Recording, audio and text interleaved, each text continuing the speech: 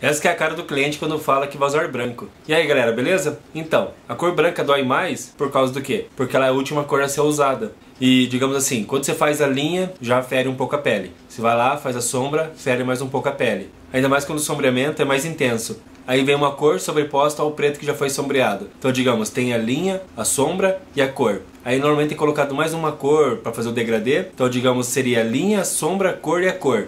Aí vem quem? Vem o branco. Então, digamos, a pele já está bem ferida. Aí você vai lá coloca o branco bem em cima de todos esses ferimentos. Lógico que vai doer mais. Por isso que existe a lenda de que o branco dói mais. Porque ele é a última cor a ser colocada. Pode até ser um desenho só sombreado. Ficou 4 horas fazendo o procedimento. Ou até mais.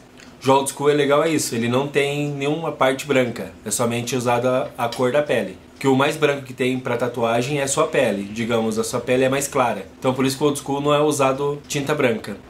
Espero ter falado de uma forma clara para vocês entenderem. É isso aí, então em seguida vai ter uma tatuagem minha aí, um desenho exclusivo meu. E espero que estejam gostando do meu canal aí. Beleza? Falou galera, até mais.